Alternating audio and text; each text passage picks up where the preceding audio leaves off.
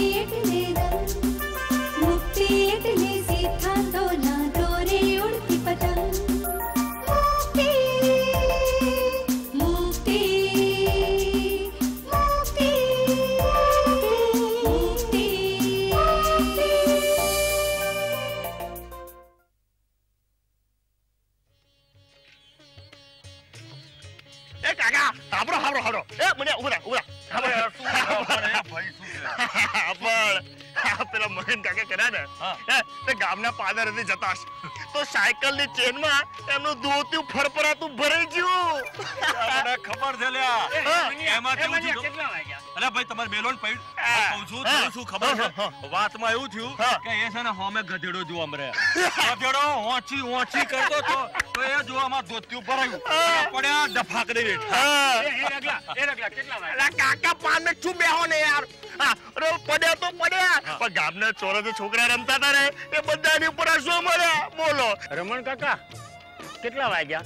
આમ ઘડીએ ઘડીએ ટાઈમ હું કામ પૂછો છો? તમારે ચોઈ જવાનું છે? મારે જવાનું નથી પણ કોઈ આવવાનું છે? કોણ આવવાનું છે? અરે મારો માધવ આવવાનો છે. હું શું કહું ધનુ કાકા? આ માધવ કયો માધવ? આ પેલો રણછોડ કાકાનો છોકરો માધવ હે ને હે ને એ ને. હા તો બીજું કોણ? હા અરે દસ વર્ષે પાછો ગામમાં માધવ આવશે. હા અને મેં તો નાનપણના પાછા ભેરું. હા અમે તો એ સરસ મજાની વડલાની ડાળીએ હિંચકો ખાવા જતા. હા અને તળાવમાં ધુબાકા મારવા જતા. અને પેલા પસા કાકાના ખેતરથી કેરીઓ પાડવા જતા. એ મનિયા એ આજે છે ને મોટો માણસ થઈ ગયો છે હા. એટલે થઈ જ જાય ને. આ તો એના નસીબ ખુલી ગયા. હા એના બાપા બિચારા ગુજરી ગયા. અને એના મામા એને શહેરમાં જોડે લઈ ગયા એટલે. અરે મનિયા મારો માધવ છે ને મારો માધવ. કોલેજમાં ભણે છે. અને દસ વર્ષે ગામમાં પાછો આવવાનો છે. તો હું શું કહું ધનુ કાકા? એ માધવ આ આપણા ગામમાં કેટલા દાડા રોકાવાનો? લે પાછો પૂછે છે કેટલા દાડા રોકાવાનો છે? અલ્યા ચક્રમ એ અહીં રહેવાનો છે. એ અહીં રોકાવાનો છે એ અહીં રહેવાનો છે. અરે આ મૂર્ખ બનાવે છે તમને એણે હા. અરે આ ગામમાં એ રહેવાનો જ નહીં. એ ચાર દાડા રોકાય ને તો મને કહેજો. આ ગામમાં રહેવા જેવું છે શું? આ આપણું ધૂળિયું ગામ છે. હા. અરે આ ગંદી શેરીઓ, આ ઉગાડી ગટરો અને એકમાત્ર ચોરો છે આપણા ગામમાં બેહવા માટે. અને આપણું પંચાયતનું મકાન, એ કોઈ જોવા આવે ને, તો આપણને બતાડતા શરમ આવે એવું છે. જે હોય તે. એ એનું પોતાનું ગામ છે આ. માધવનું ગામ છે આ. એ અહીં રહેવાનો છે. એવું એને મને પોસ્ટકાર્ડમાં લખ્યું છે. લે વાંચ અરે પણ શું ધૂળ ઢેફામાં છે અરે મને ક્યાં વાંચતા આવડે છે ભાઈ? અહીંયા રગલા હા? તું તો પાંચ ચોપડી ભણ્યો છે ને તો મને વાંચી હમણાં કાકા આ હું ભણ્યો તો શું પણ મને છે ને આ સમય જતા હું વાંચવાનું બધું ભૂલી જઉં છું. હા. લાવ હું વાંચી આપું. આ રગલો મારી સાથે નિશાળે આવતો. અમે જોડે જ બેસતા. પણ તોય મને વાંચતા આવડ્યું ને એને ના આવડ્યું. શરમ આવી જોઈએ રઘલા. એ મુક્તિ મને હું કામ શરમ આવે? મને હું કામ શરમ આવે? માતા નથી આવડતું તો નથી આવડતું. એમાં શું થયું? માતા નથી આવડતું પણ ટ્રેક્ટર ચલાવતા ને ખેતી કરતા તો આવડે છે કે નહીં? હે? સમજી કે નહીં? પછી અનાજનો હિસાબ કરવા માટે કોઈ પાસે જવું પડે છે ને? ટ્રેક્ટરનો હપ્તો ભરવા માટે સ્લીપ ભરાવા તું મારી પાસે જ આવે છે. તો તું મારી બાળપણની ભેરું છે. તે મારું આટલું કામ ના કરે. કે કામ કરું? પણ તું ભણ્યો ગણ્યો હોત તો તારે કોઈની સાડાબારી તો નહીં ને? અમારા ભાઈ માધવને જો ગ્રેજ્યુએટ થયો છે. એમએ પાસ છે એમએ એટલે તો અમે કહીએ છે કે ગામમાં ટકવાનો જ નહીં. એટલે? માધવ ગામમાં પાછો આવે છે? એ જ લખ્યું છે પોસ્ટકાર્ડમાં પોતાની જાતને ભણેલી કહે છે ને તો વોચ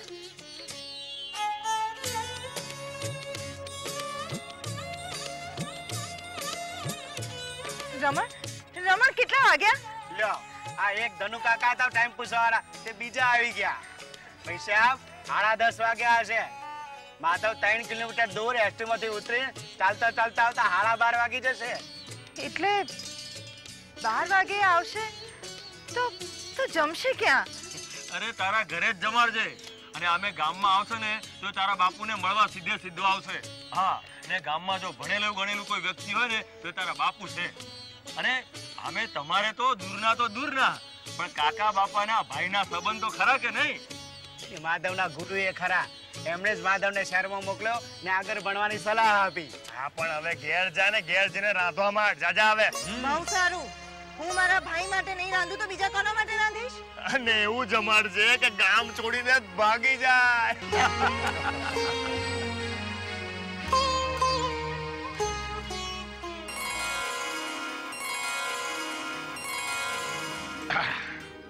મજા આવી ગઈ હો જમવાની.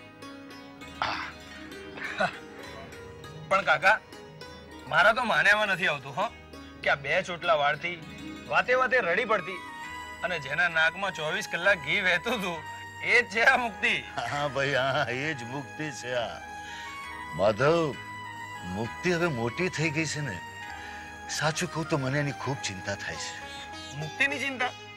એની ચિંતા શું કામ કરો છો કાકા? એ તો ભણેલી ગણેલી છે. પોતાનું જીવન જાતે વિતાવી શકે એવી છે. તેમ છતાંય દીકરીની જાત છે ને. બસ મારા છતાં પહેલા એક વાર કોઈ સારા યુવાનના હાથમાં એનો હાથ સોંપી દઉં ને બસ. શાંતિથી આંખો મીચું. બાપુ તમે શું? કોઈ પણ આવે એની સામે એકની એક વાત? માધવ માધવ બેટા, તું દીકરીનો બાપ નથી ને? એટલે તને નહીં સમજાય. અરે, પણ હા, તારે તો ઘણા બધા મિત્રો હશે ને? જરા નજર નાખતો રહેજે, હા? બસ. મેં તો આખી જિંદગી પ્રાથમિક શિક્ષણ આપ્યું. ટૂંકો પગાર અને બચત પણ ખાસ એટલી બધી નહીં. હવે જે કઈ થોડી ઘણી બચત હતી એ મુક્તિની માની સારવારમાં અને મુક્તિના ભણતર પાછળ ખર્ચાઈ ગઈ. હવે લગ્ન કરવા કે દહેજ માટે? બસ બાપુ. હજી હમણાં તો માધવ આવ્યો છે. માધવ ભગવાન મને દીકરો તો નથી આપ્યો.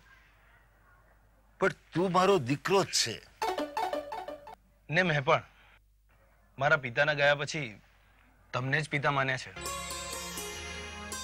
હું આજે જે કંઈ પણ છું ને, એ તમારા કારણે જ છું.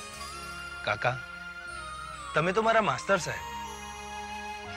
તમે મને એ દિવસે સમજાવ્યો ના હોત ને, શહેરમાં ભણવા જવા માટે, તો આજે કદાચ આજે કદાચ હું પણ આ ગામમાં ક્યાંક ખોવાઈ ગયો હોત. ચાલ ચાલ ચાલ હવે જવા દે બધી વાત પેલા એ મને કે હવે કેટલું રોકાવાનો છું.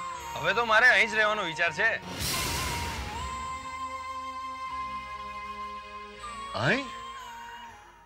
આ ગામમાં? પણ આ ગામમાં રહીને તું કરવાનો શું તમારા બાકી રહેલા કામને હું આગળ વધારીશ. અને આ ગામમાં આજ સુધી જે નથી થયું ને તે લાવવાનો પ્રયત્ન કરીશ. માધવ માધવ આખી જિંદગી ખર્ચી નાખી મેં આ ગામમાં. આજે પણ ગામના યુવાનો અભણ છે. કઈ થઈ શક્યું નહીં. જે કે થોડા ઘણા ભણવા આવ્યા, એમણે પણ અડધેથી ભણવાનું છોડી દીધું. એટલે ભણેલું ભૂલી ગયા. સરવાળે તો પરિસ્થિતિ એકની એક જ થઈ. પણ કાકા, હવે હું આવી ગયો છું ને. આપણે જે લોકો ભણતર ભૂલી ગયા છે ને તેમને યાદ અપાવીશું. અને જે ભણ્યા જ નથી તેમને ભણાવીશું કાકા. કાંઈ નહીં થાય દીકરા. કાંઈ નહીં થાય.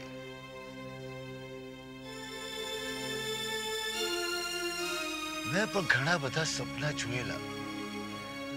પણ મને નથી લાગતું કે આપણે જેટલા પણ સપના જોઈએ બધા સાચા પડતા હોય. પણ કાકા મને લાગે છે કે તમે ભૂલી ગયા છો. યાદ છે? આપે જ મને સ્કૂલમાં શીખવાડ્યું હતું કે કરતા જાળ કરોડિયો ભોય પડી પછડાય વણ તૂટે લે તાતણે, ઉપર ચડવા જાય. કરતા જાળ કરોડિયો ભોય પડી પછડાય વણ તૂટે લે તાતણે ઉપર ચડવા કરતા જાળ કરોડિયો ભોય તળી પછડાય.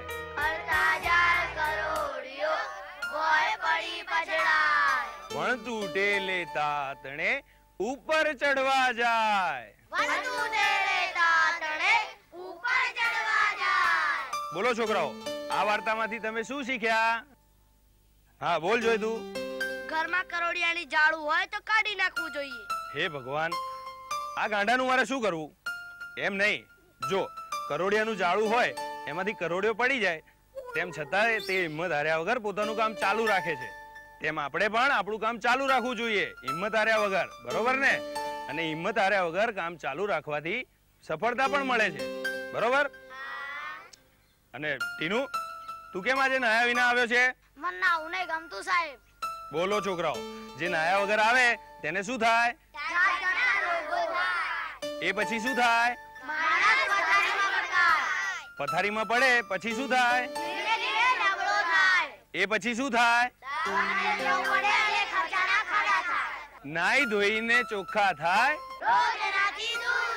જમતા પહેલા ધુવે હાથ? ભણે ગણે ને શીખે વિજ્ઞાન? સૌથી મોટું કલંક શું? ભણશું ગણશું આગળ વધશું. કરતા જાળ કરોડિયો તળી પછડાય. ચાર દાડાની ચાંદની છે. ચાર દિવસમાં કંટાળીને શહેર ભેગો થઈ જવાનો એ રગલા એવું વિચારવાને બદલે એને મદદ કઈ રીતે થઈ શકે? એનો વિચાર કર ને મારી પાસે એવા બધા ટાઈમ નથી આવડી ગયું ને? મારે બીજા ઘણા બધા કામ છે. અરે રોજ સવારે ની જેમ હું આ ગામના છેડેથી છેડે કચરો વાળવા નહીં નીકળું. તને ખબર છે? રોજ સવારની પોરમાં માધો ગામના છેડેથી છેડે કચરો વાળવા નીકળે છે. કુએ બેઠેલા છોકરાઓને નવડાવે છે. અરે આ જ બધું કરું તું. તો નક્કામાં ભણવામાં વર્ષો બગાડ્યા ને. એ રગલા અલ્યા એ એ રગલા તને ખબર છે? આ ગામમાંથી જઈને ભણી ગણીને ગામને ભૂલી જનારા તો ઘણા છે. પણ આવી રીતે પાછા આવીને ગામનું ભલું કરનારા તો કોઈક વિરલા જ હોય છે. એને વિરલા નહીં, મૂર્ખા કહેવાય, મૂર્ખા. અરે મુક્તિ, મેં તો એ પણ સાંભળ્યું છે કે ગાડાને શહેરમાં કોઈ સારી જગ્યાએ સરકારી નોકરી મળતી હતી. તો એ ગાંડો આ બધું છોડી છાડીને અહીંયા આવીને આવી ગામડામાં માથાજીક કરે છે. અરે આ બધા ગામડાના છોકરાઓને નવડાવે, ધોડાવે છે. અરે એમની માઓ મરી ગઈ છે. તો બધી જવાબદારી લઈ લીધી. તને નહીં સમજાય. હા? મને ક્યાંથી સમજા આવડી ગયું હે? તો અભણ છું ને? ને તોય મારી પાસે બે ગાડી ને એક ટ્રેક્ટર છે. બાંધવાની જેમ પારકા ઘર નથી જમતો હું. એ ઘર પારકું નથી. એનું પોતાનું છે. અને એ મારા ઘરે જમે છે. અનાજ માંગવા હું તારા ઘરે નથી આવતી. એ દિવસો પણ આવી જશે. માર નહીં લાગે. તું વિચાર તો કર. આવકના નામે મીંડું કોઈ આવક નહીં. ને આ ગામડાના છોકરાઓને નવડાવવા ધોડાવવા અને જોડકણા ગવડાવવામાં ટાઈમ બગાડે છે તારો ભાઈ માધવ. મારો ભાઈ જે કરે છે ને એ બરાબર જ કરે છે. આ તું નહીં. તારા સિદ્ધાંત બોલી રહ્યા છે મારે. સિદ્ધાંતથી ક્યારે પેટ નથી ભરાતું. જોઈશું. હા હા. જોજે. જોજે. ને જોઈને થાકી જાય પછી કહેજે કે રઘલા તું સાચો હતો.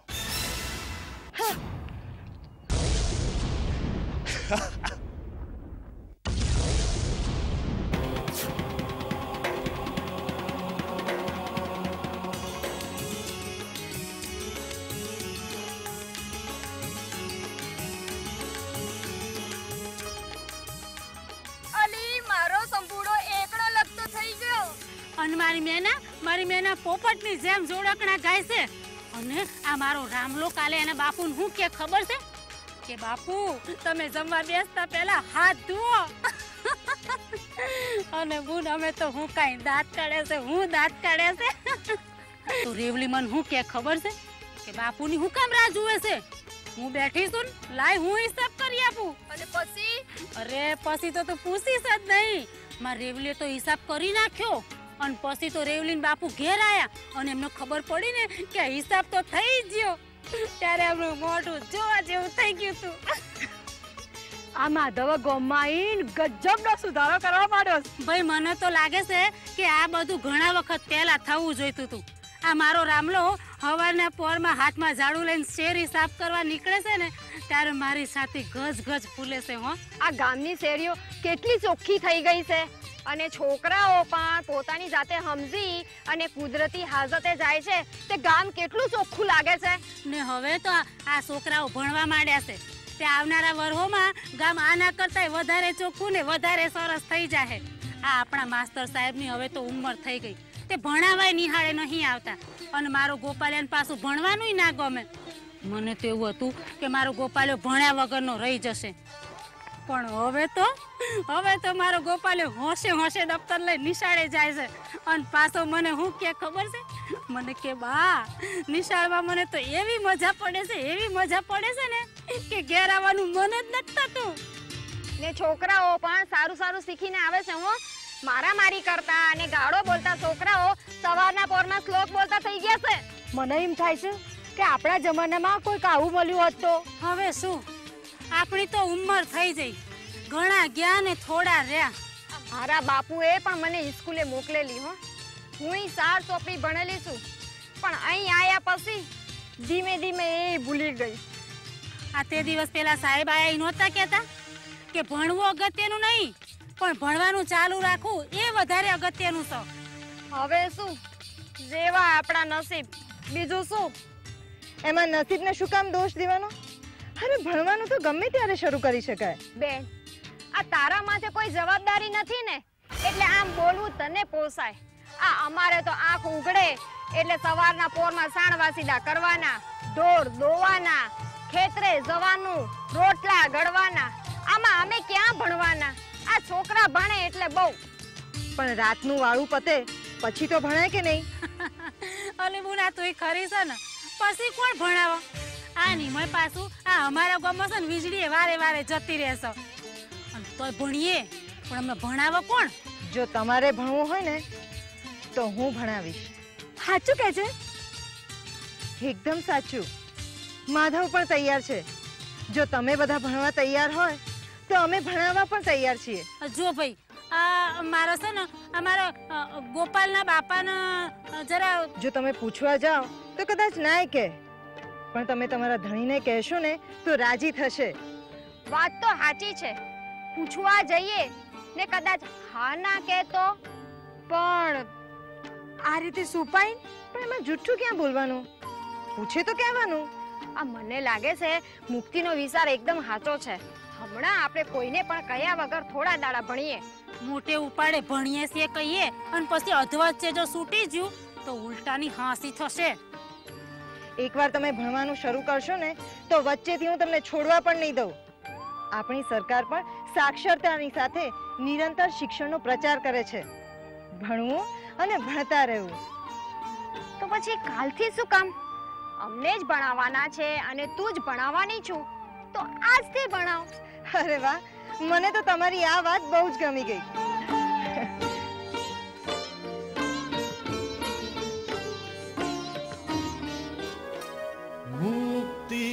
મારી દીવા જેવી જળહળ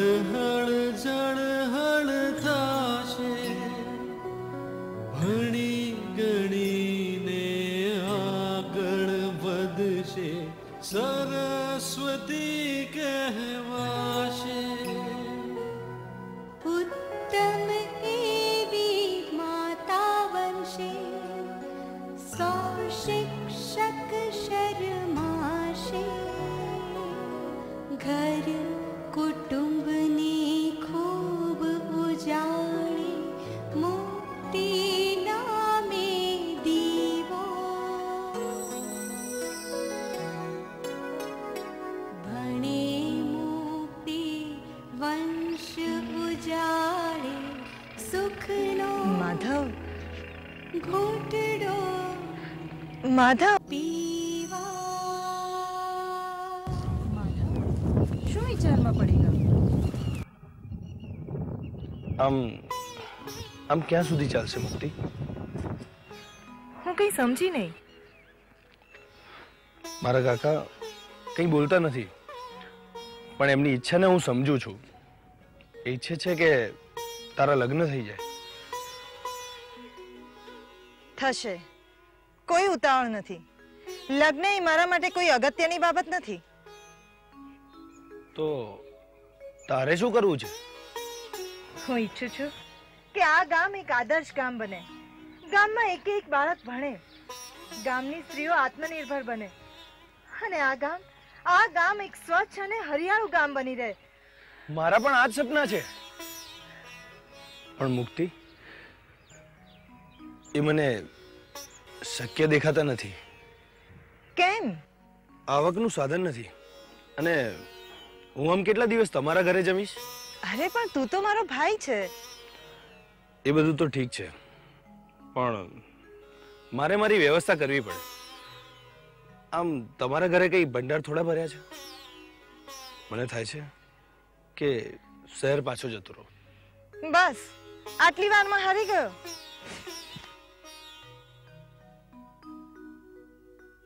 હારી નથી ગયો. ગુચવાઈ ગયો. માધવ આ ગામમાં સૌથી પહેલી જરૂર છે એક ગોઠવણની એક વ્યવસ્થાની. આ ગામમાં ઢગલાબંધ અનાજ પાકે છે. પણ કોઈ સહકારી મંડળી નથી જે ભાવ નિશ્ચિત કરીને ખેડૂતોનું અનાજ સારી રીતે વેચી આપે. આ જુદા જુદા ભાવે અનાજ વેચાય છે ને એટલે જ અંદરો અંદર ઈર્ષ્યા અને ચરસા ચરસી થાય છે. તારી વાત સાવ સાચી છે. આટલું બધું દૂધ આપતું આ ગામ છે. ઘેર ઘેર પશુઓ છે. ખાધે પીધે કોઈને કોઈ વાતનું દુઃખ નથી. પણ દૂધ મંડળી નથી. આ ગામનું દૂધ એકઠું કરીને જિલ્લાની ડેરીમાં આપીએ ને તો ગામની સ્ત્રીઓમાં આવક થાય અને ગામમાં વેડફાતું દૂધ પણ ઓછું થાય. તારી આ વાત પણ સાચી છે મુક્તિ. અહીં કોઈ બેંક નથી અને કોઈ બચત મંડળી પણ નથી. તું આ બધું કરી શકે અને અને બદલામાં પગાર પણ લઈ શકે. સારું.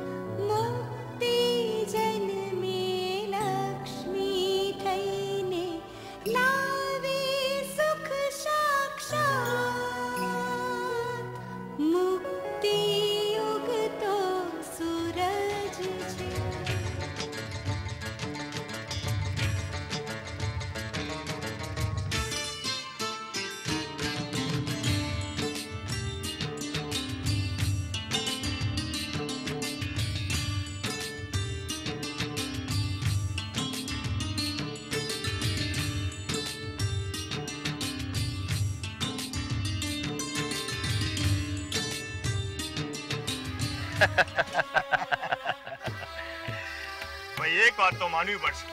આ માધવે જે પણ કંઈ કહ્યું ને, એ કરી બતાવ્યો હવે આપણો વારો છે.